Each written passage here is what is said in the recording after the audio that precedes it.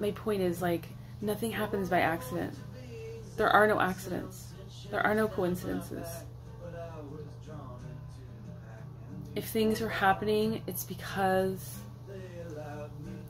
it's an invitation to either learn something, grow, expand, move in a new direction, let something go, release something, transmute something, transform something, create something. It's all potential. It's up to you to take that potential and do something with it. But for anyone who's not feeling connected, anyone who doesn't know who they are, what they're doing here, oh, honey, I ask that you just close your eyes and pray, meditate. To me, that they're the same thing. But if that's even too lofty for you, then just close your eyes and breathe consciously in and out. And just observe what comes up. Continue breathing. You know, this alone. Thing is, we don't have to even seek God for, right? For it to exist. We are source. We were all created by source. I don't care what color your skin is. I don't care what gender you identify as. I don't even care what you've done in your life. And if it's been really horrible, it's like you're still God. Period. it's in our resistance to that that we stray from ourselves. Not from some vengeful god because i don't really see things that way. I do believe in karma. I do believe you get what you put out. So you sow your own path just by being who you are.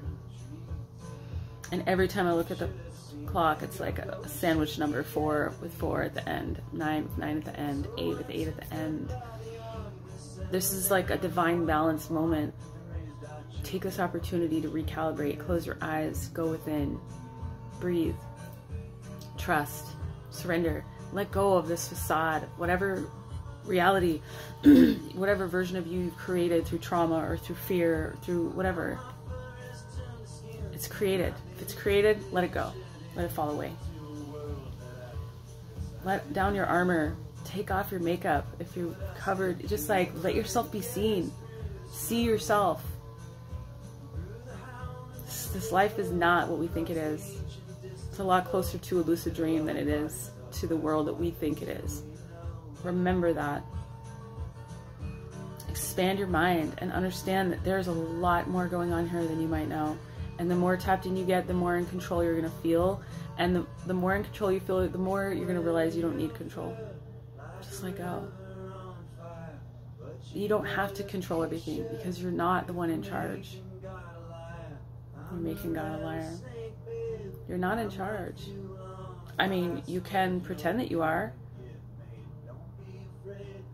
but at some point you're going to be forced to stop and look in a different way. And I think that time is coming very soon. So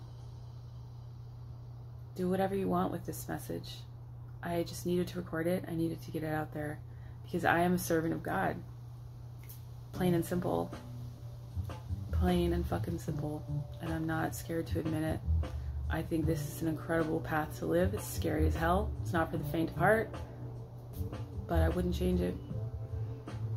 Go home to God. Go home to yourself. Go home to your nature. Go plant a tree. Go sit in the grass.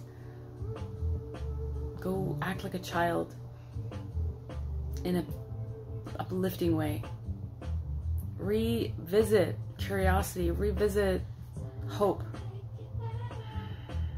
And if you aren't getting what you need in this moment right now, ask yourself how you can and go make it happen. Period. You have a lot more control than you realize. I mean, you know what I mean? In your experience, choose to enjoy it. Choose to surrender instead of fighting it. Choose to appreciate the beauty in everyday little things again will bring you back to life. Listen to music, dance, sing. Spend time with people that make you feel good, that make you feel curious, that make you feel playful. And pay attention to how you feel when you're around the people in your life. When you leave, especially, how are you feeling? And you might have to let go of some people to find this peace, this equilibrium. And I highly recommend that you do. Because on the other side of all the baggage that you've been carrying is a version of you that is magical. And you might be afraid to, to witness the true magic that you hold. And you might be especially afraid because you're worried that other people are going to judge it. But that's a judgment that you're giving. You're judging yourself. You're the one judging yourself. Recognize that. When you when you leave the experience to view from someone else's vantage point and you picture them judging you, that's actually you judging you. It's not them. That's what needs to be addressed first. Don't worry about them. Worry about you. How small are you forcing yourself to be? To fit in? You know? To be seen? Are you the kind of person that needs to put on a mask and do the hair and make sure, you know, that everything has to be perfect before you are able to be seen, even by yourself? Or at least received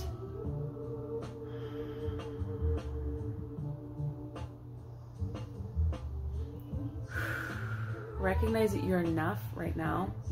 You don't have to do anything different. And trust me, I battle with this stuff too. But it's like over the years, as I get older, I'm just releasing these layers of bullshit that I've picked up. Because when I was a kid, I didn't have that.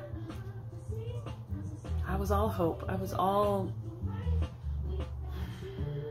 I wasn't conditioned, you know?